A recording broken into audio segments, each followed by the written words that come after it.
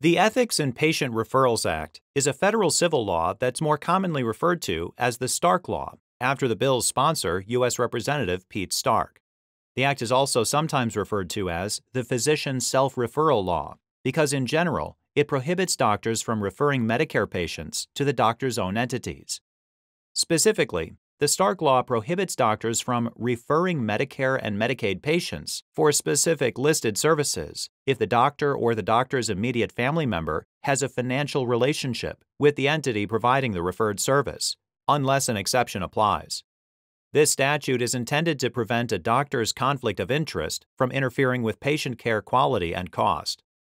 Imagine that a doctor's mother owned 20% of an imaging center the doctor might be motivated to refer patients to the center for excessive or unnecessary imaging because the doctor's family would benefit financially from those extra tests.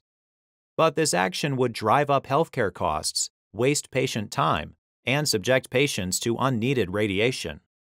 The Stark Law tries to prevent these negative consequences by prohibiting the doctor from referring any Medicare patients to that particular imaging center, unless an exception applies.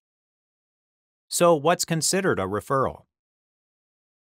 Under the Stark Law, a referral is a physician's request for, ordering of, or certification of the need for any designated health service that will be provided by someone else.